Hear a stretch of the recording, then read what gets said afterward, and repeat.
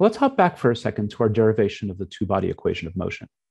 In the course of this derivation, we actually came across something very important, but didn't pause to call it out. So let's do that now.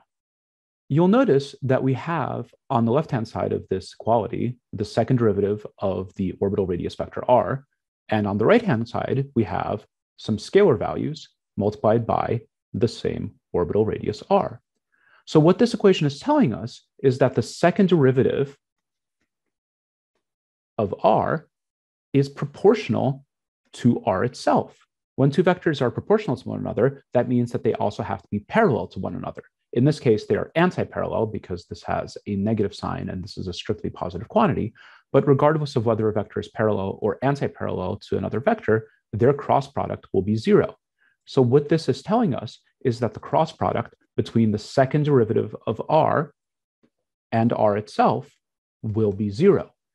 And this is a very, very important finding. And this will play a key role in an upcoming derivation.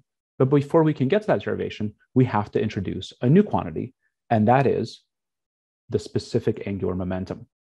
In all of astrodynamics, specific means divided by the mass.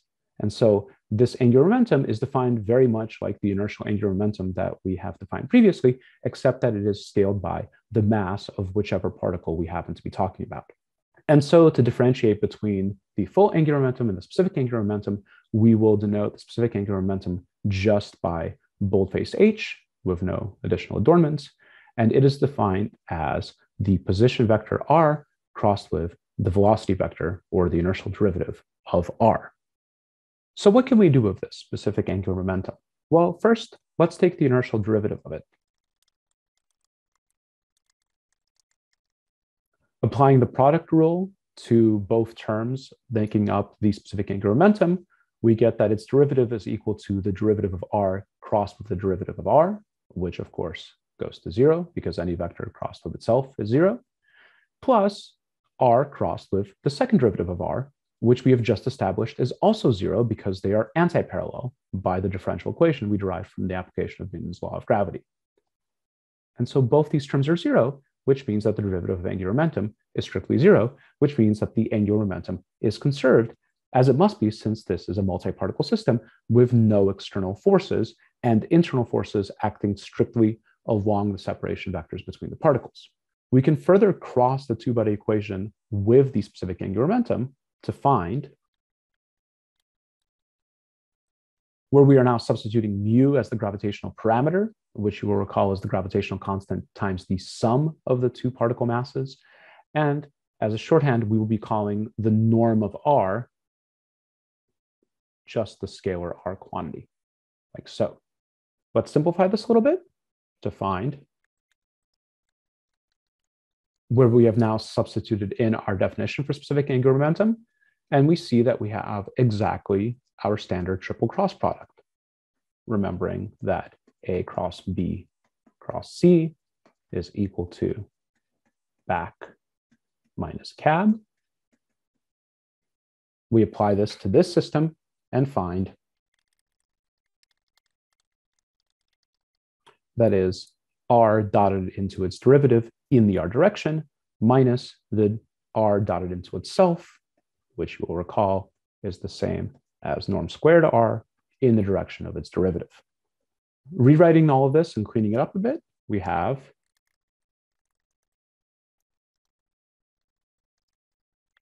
that is the second derivative of the position vector between the two particles crossed with the specific angular momentum is equal to negative the gravitational parameter over the distance between the two particles cubed times the quantities r dotted into its derivative in the r direction minus scalar r squared times the derivative of vector r. Let's consider these two terms independently, starting with this one. If we rewrite this in component form using a standard basis e sub i, then we'll get that this expression is equivalent to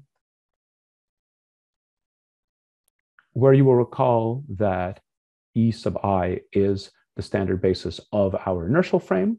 And so using the rules of vector products that we've previously established, it's relatively straightforward to convince yourself that this is true. The one caveat being that it's incredibly important to recall that r sub i dot, these scalar terms, these are scalar derivatives of the components of the vector r in this basis. From this, what we find is that this whole first term is equal to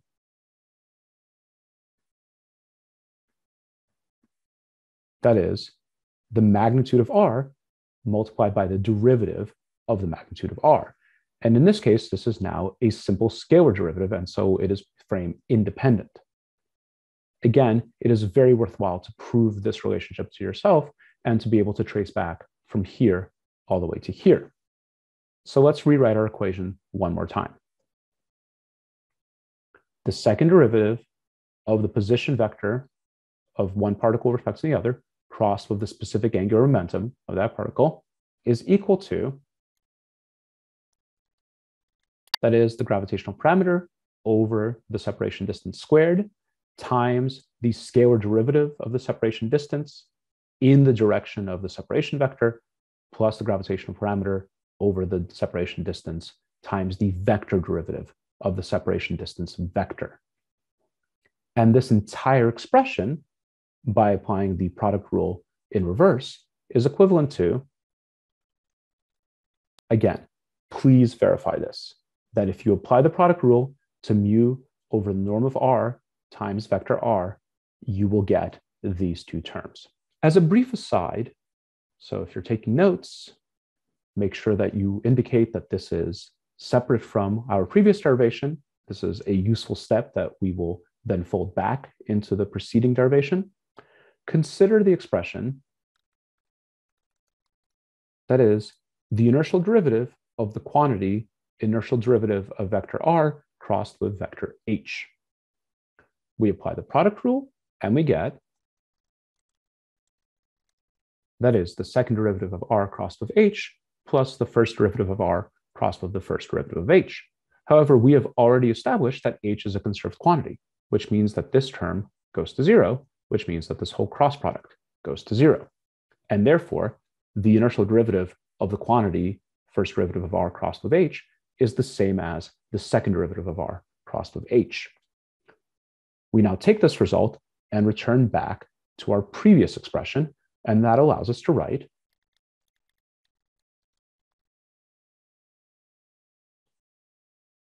So what we have done is returned all the way to here and replaced the second derivative of r cross with h with what we now know to be the equivalent expression of the first derivative of the cross product first derivative of r with h, and set that equal to the resulting right-hand side, which is the first derivative of mu over scalar r in the r vector direction.